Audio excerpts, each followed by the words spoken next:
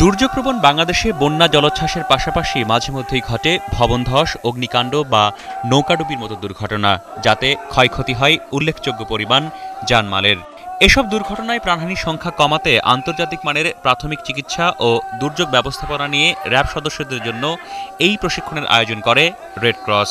সাত দিনব্যাপী এই কোর্সে রেড ক্রসের গবেষকরা র্যাব সদস্যদের গণদুর্যোগ ব্যবস্থাপনা ও প্রাথমিক চিকিৎসার উপর হাতে কলমে প্রশিক্ষণ দেন First aid is a key component of that so that uh, law enforcement agencies, including the police and RAB, can give assistance to persons that are injured in the community.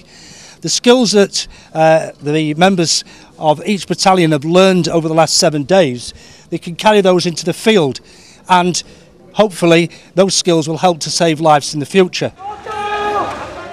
অপরাধ দমনের পাশাপাশি র্যাব সদস্যরা সারা দেশে বিভিন্ন দুর্যোগ দুর্ঘটনায় গুরুত্বপূর্ণ ভূমিকা পালন করে আসছে।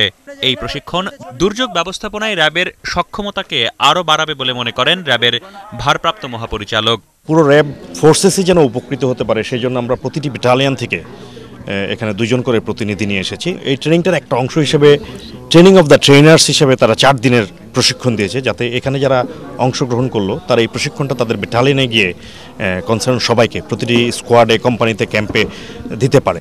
সাত দিনব্যাপী এই কোর্সে উন্নত প্রশিক্ষণের পাশাপাশি র্যাবকে জীবন রক্ষাকারী বিভিন্ন উপকরণ সরবরাহ করেছে সংস্থাটি। ভবিষ্যতে পুলিশ বাহিনীর জন্য এ ধরনের প্রশিক্ষণের আয়োজন করা হবে বলেও জানিয়েছেন রেড ক্রস কর্মকর্তারা। রাহাত মিনহাজ এটিএন বাংলা, ঢাকা।